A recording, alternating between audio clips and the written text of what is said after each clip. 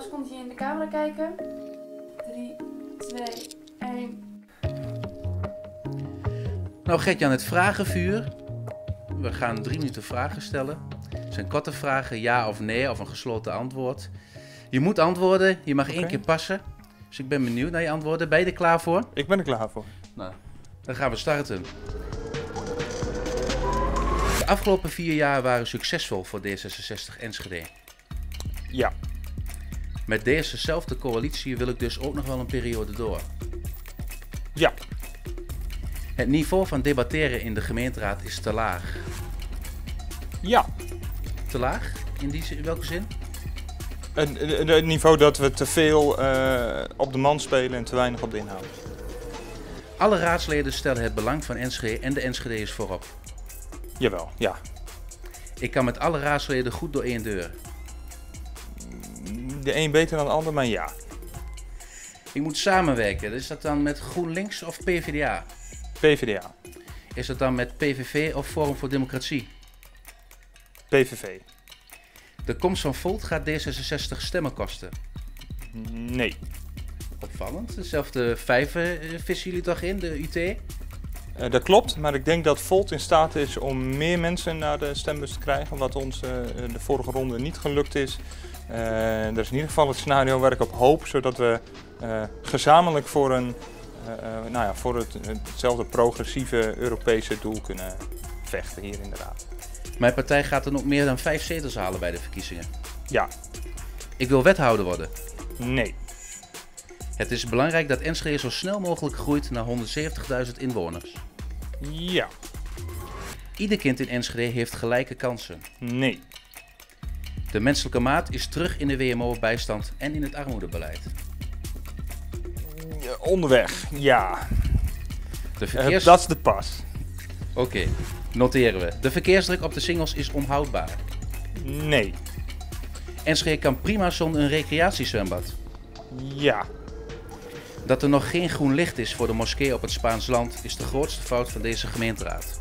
ja, De energietransitie is het belangrijkste thema van de komende vier jaar. nee. Oh, opvallend. Is Welke, welke van de wel? belangrijkste. Welke is de belangrijkste? Als je Eh, eh, de kansengelijkheid. Het is een schande dat Enschede nog geen windmolens heeft. Eh, ja, Dankzij ons afvalbeleid is het een puinhoop in de stad. nee. Enschede moet wel gaan nascheiden. Nee.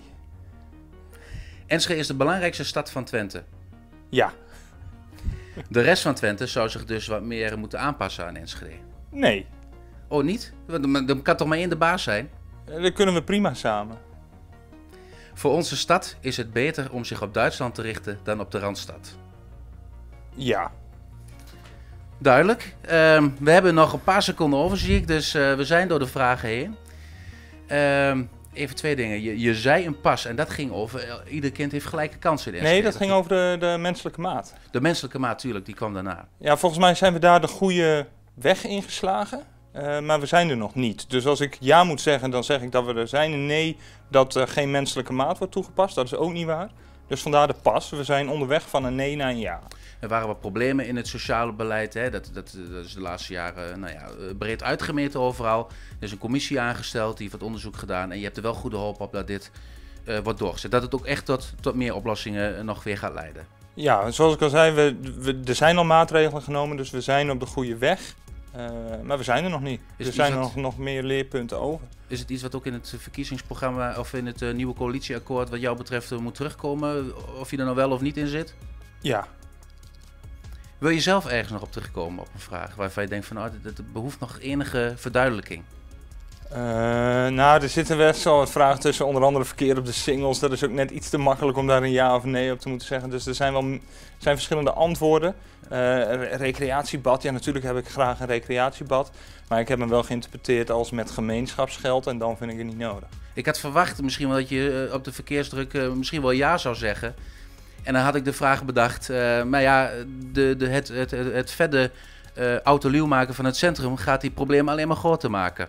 Is dat ook wel een beetje waar je mee zit? Eh, Met, eh, Eh. kan de single de druk nog wel aan?